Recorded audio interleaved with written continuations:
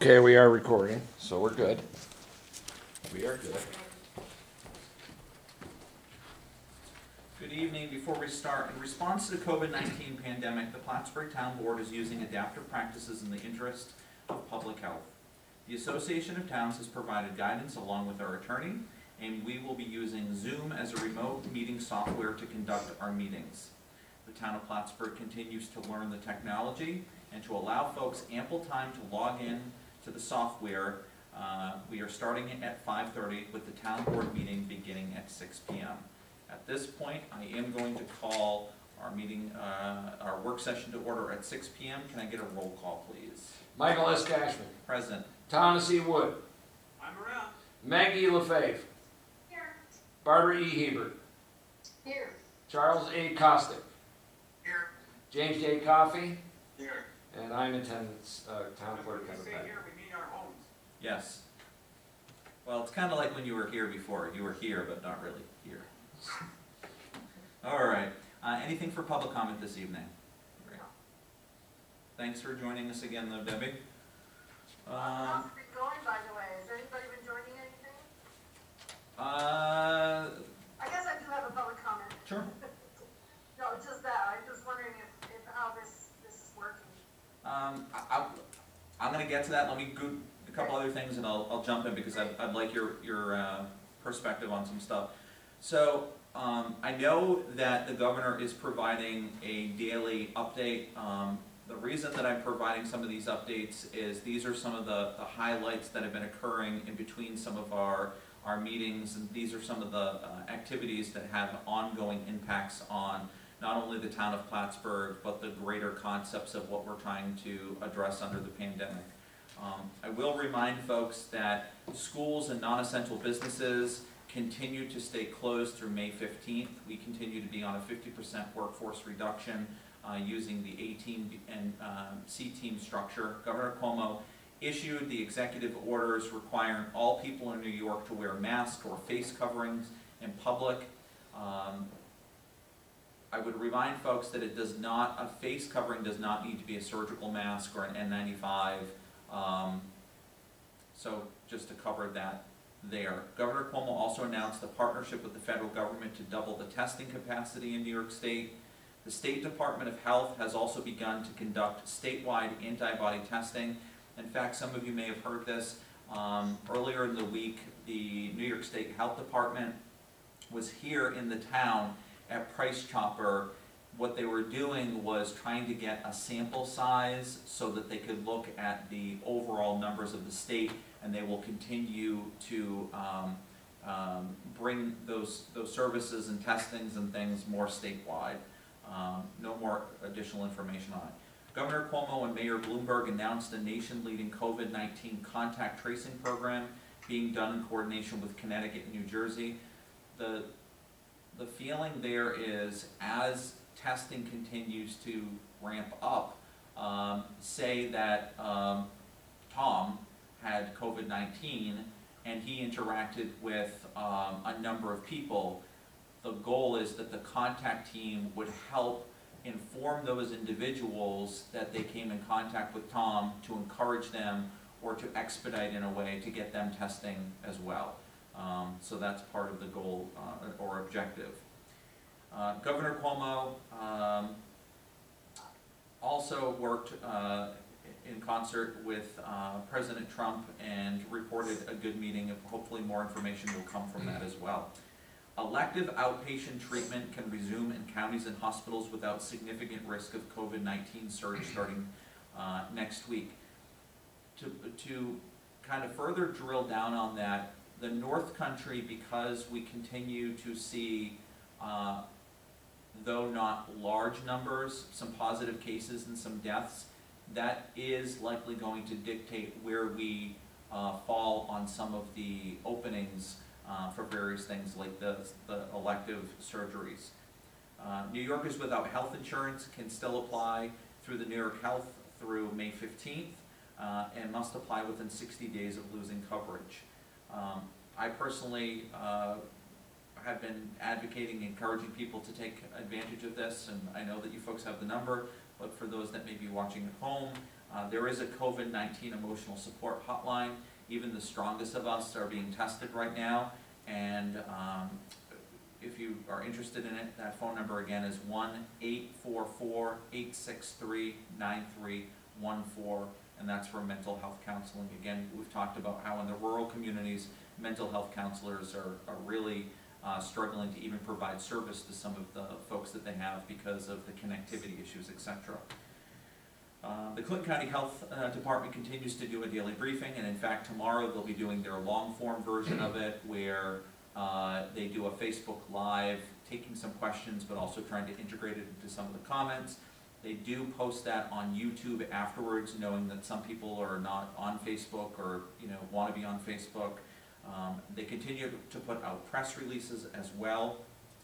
Um, We, here at the town, uh, have secured uh, part of our purchase for uh, face coverings for uh, our employees as well.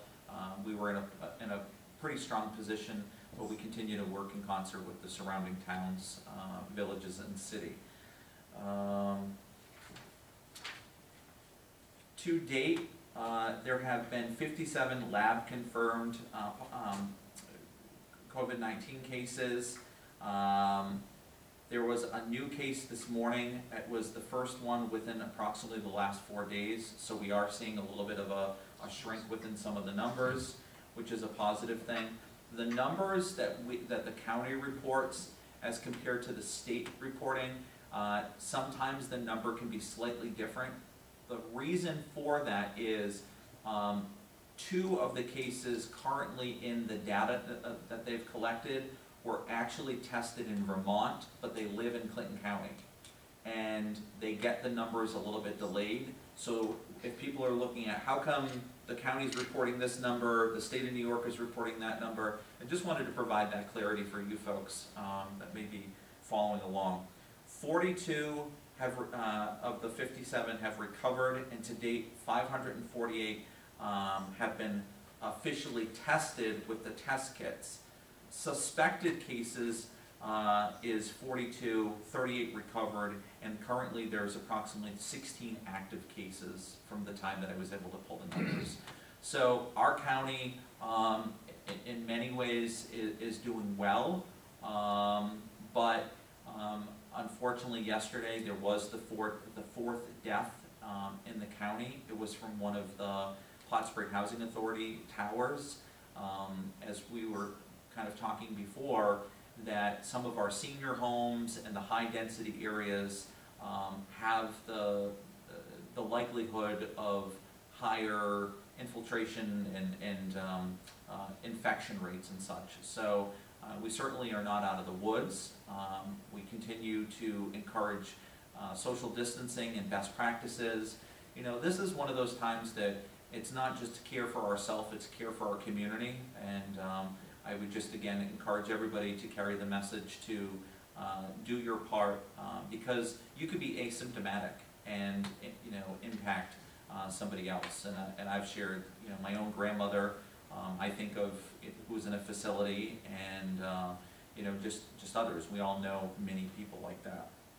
So, uh, more information to come, just a quick update, uh, for the town and kind of looping back to, to Debbie's initial, uh, question is, the town of Plattsburgh continues to do its best, and I think we are in many ways leading the way for local government.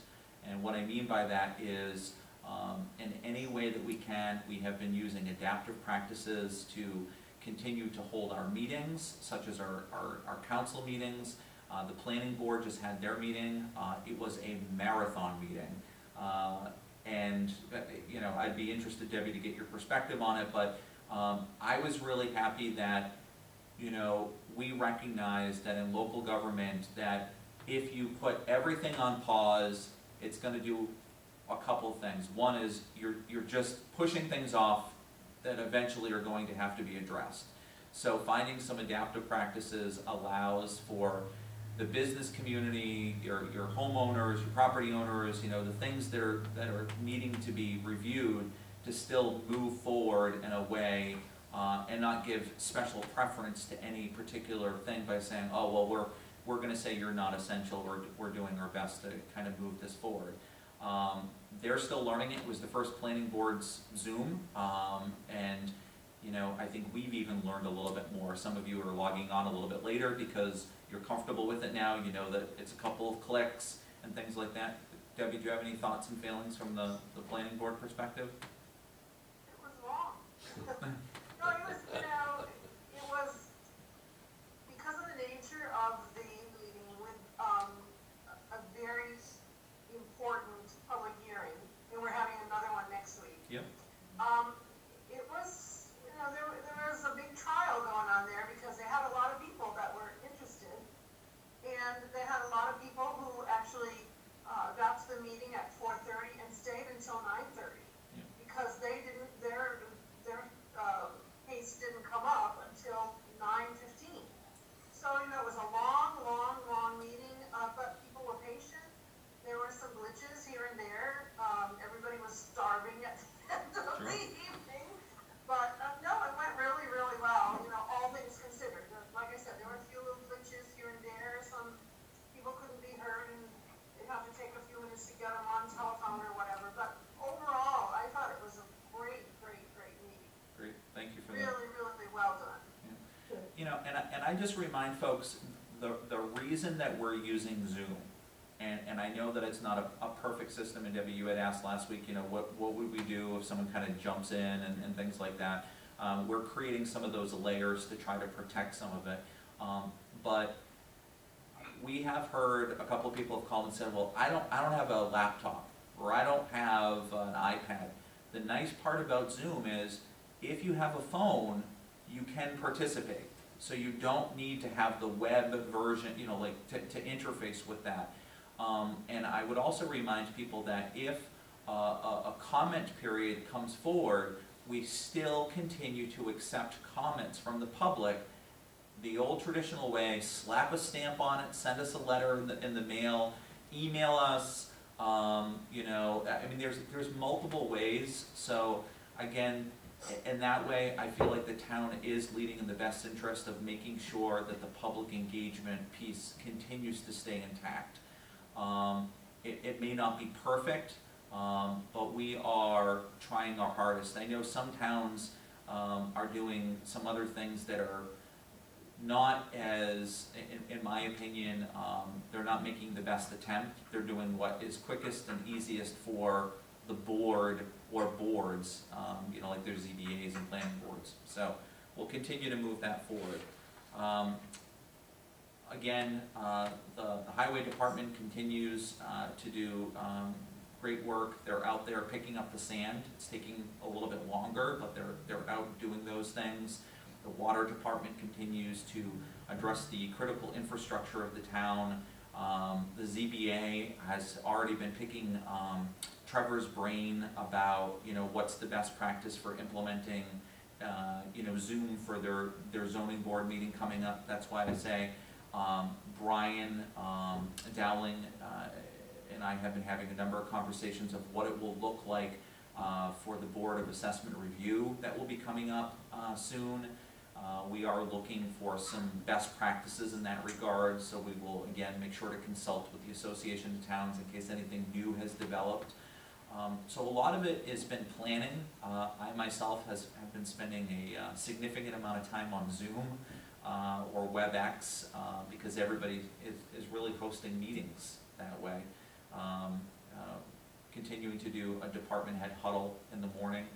And I'll go back to this, and, and we will be having a more focused, uh, conversation about this. I don't wanna, um, uh, coast over, it's not meant to that, but just to put it in perspective.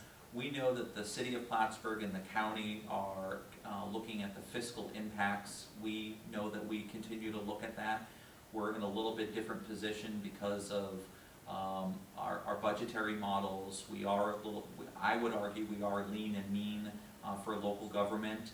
Um, and as we get some of the additional numbers in from our county sales tax and some of the advice from, um, the county administrator, Michael Zurlo, I've talked with him a number of times, we'll be able to do some better projections and modeling for us. Um, some of the best advice that I got from, uh, uh, Mike Zurlo was, we're living in unprecedented times.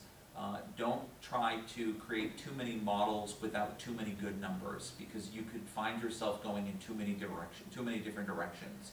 Um, so I just wanna put that out to you, that we aren't ignoring the fact that there are gonna be some challenges ahead of us financially.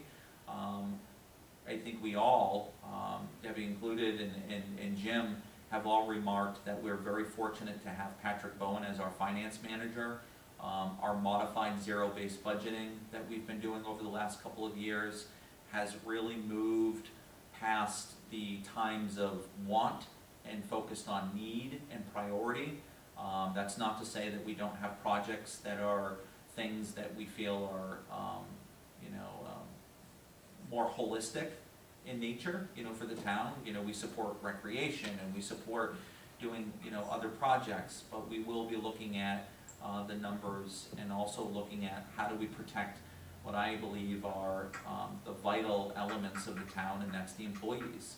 You know, uh, it doesn't make sense to have a fleet of, um, vehicles, uh, in, in the bay and not have the people to plow the roads, for example, so. Um, more to come on that, I do promise all of you. Um, I just wanna get you some more numbers so that we can talk about action versus, um, what ifs. I think we can get too marred down by the what if, what if, what if, and, you know, what, what would that look like? Um, tonight, the reason that we're holding uh, a meeting was to give a general overview of that.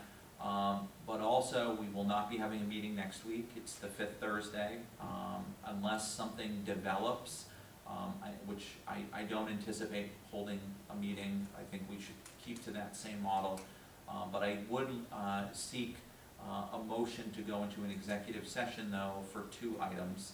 Um, one is the ongoing pending litigation with the city of Plattsburgh, and the other is, uh, possible pending litigation with, uh, certiorari for Champlain Center Mall. Um, Is there a motion to that effect? So moved. Hebert, is there, a s- uh, who's the second? Wood? Um, all the, Oh, bye, Debbie. Bye, Debbie. All right. Vote, I gotta hear the vote. all, all those in favor say aye. Aye. Bye. Okay, bye. All right, six seventeen. Stay safe. Uh, Thanks, you too. All right, I'm gonna, uh, stop the recording. And I'm gonna have Kevin stop the recording.